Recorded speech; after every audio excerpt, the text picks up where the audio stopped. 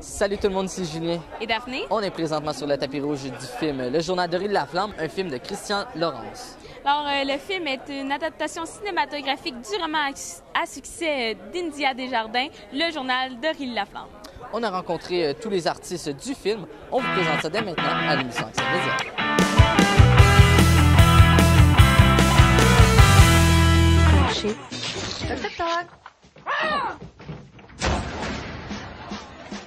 Je m'appelle Aurélie Laflamme. J'ai 14 ans et j'ai les maths. Pardon? Puis justement, on sait que tu joues euh, le rôle d'Aurélie Laflamme, mais peux-tu nous expliquer qui elle est vraiment? C'est une fille qui a 14 ans. Moi, j'ai 15 ans. J'ai 16 ans très bientôt, mais euh, bon, je suis proche d'elle. Euh, elle est très maladroite. elle est stressée aussi. Bon, elle fait un oral à un moment donné, puis elle est très stressée. Je suis très stressée également. Puis elle, vit bon, elle a une relation mère-fille assez euh, comme, comme toutes les, jeunes filles euh, de, nos jours.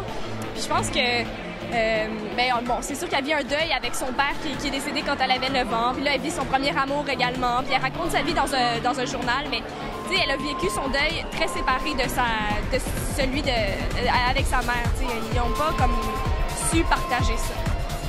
Dans le fond, Kat, c'est la meilleure amie d'Aurélie. Euh, c'est, on, peut, on, peut, dire que c'est des contraires. Euh, Aurélie, c'est l'introvertie, euh, celle qui passe son temps à réfléchir, qui, est plus insécure, tandis que Kat, elle, est accomplie, est extravertie, n'a pas peur de, dire ce qu'elle pense, n'a pas la langue dans sa poche. C'est vraiment deux contraires. C'est souvent Kat qui va traîner Aurélie dans, dans les parties, dans les choses comme ça.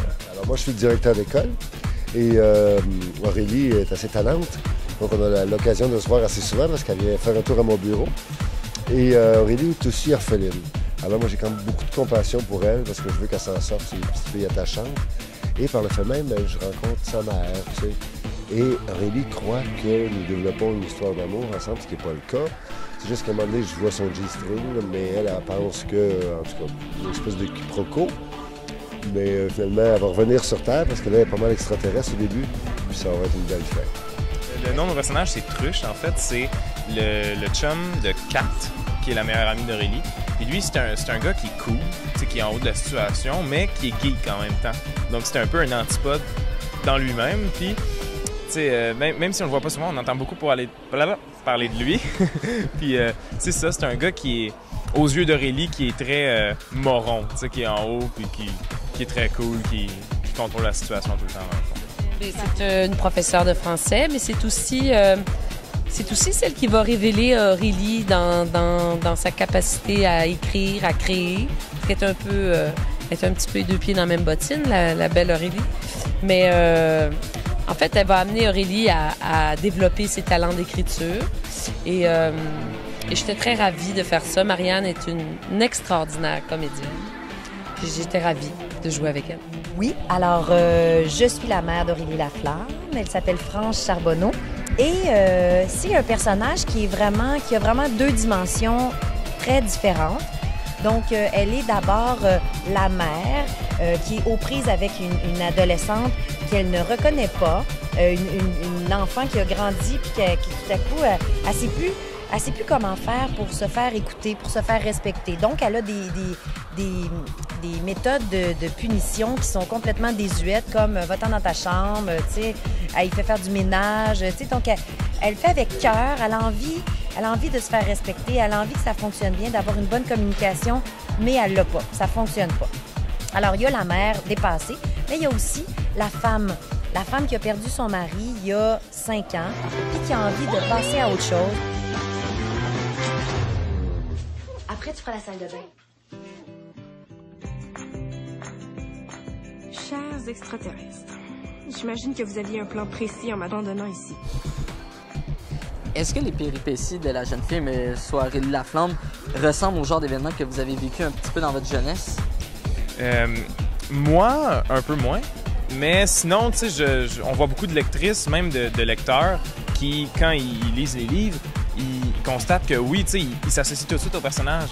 Il, disons, elle se sent plus extraterrestre, c'est comme ça le concept du film. Puis il y, a beaucoup de jeunes qui se sentent comme ça, qui se disent, ah, je suis pas pareil que les autres, que, tu sais, qu'est-ce qui m'arrive, non, non, non.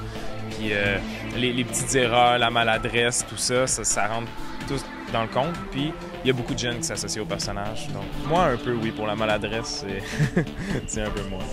Oui, mais oui, c'est sûr. Mais il y a beaucoup de, de filles qui lisent le- les, les livres. puis, Ah oui, c'est tellement moi! Mais c'est sûr, Rinda, elle écrit comme, comme elle, elle pense, mais comme aussi euh, pense beaucoup de, de- de personnes de mon âge. Puis je pense que, oui, je me reconnais là, dans la, la maladresse, puis dans les, les nerfs comme ça, ouais. Donc, quel est votre moment fort euh, du tournage? Ah, mon moment fort du tournage, ben, il y en a tellement, mais il y a un moment qui m'a touché vraiment particulièrement. C'est le moment où on a tourné la dernière scène de Geneviève Chartrand, qui, fait Kat dans le film, donc la meilleure amie d'Aurélie. Et euh, c'est une scène tout à fait anodine où les deux filles sont dans le corridor, espionnent leur directeur, parce qu'évidemment, vous savez qu'un film, on tourne ça dans le désordre.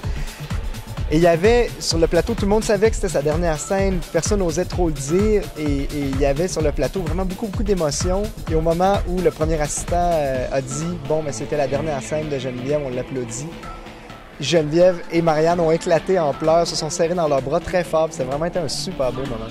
Ben, il y en a vraiment beaucoup parce que moi et Marianne, entre les scènes, on- n'arrêtait pas de niaiser. Si je me rappelle, il y a une scène où est-ce qu'on est dans une pharmacie puis on choisit des costumes. Puis cette scène-là, je me rappelle, on avait pris tellement de sucre, on était boostés au sucre, on, mangeait des bonbons. Ils nous avaient enlevé le pot. Puis euh, sinon, il y a l'autre scène, c'est celle où est-ce qu'on est dans le bain. Ça a pris trois heures à tourner, on était ratatinés. C'était même pas drôle, les- des raisins secs. Fait que on riait toujours beaucoup. Moi, je, ben moi, je pense que ça s'adresse à un public qui est assez large. Euh, en voyant le film, moi, je me suis, je, me suis reconnue comme adolescente, puis je me suis reconnue comme mère aussi. Euh, je, je me suis reconnue comme adolescente avec ma mère. Je me suis, alors je pense que ça tire bien des ficelles, puis ça peut aller chercher un large public.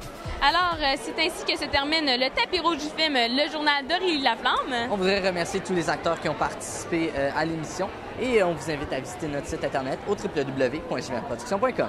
Salut tout le monde!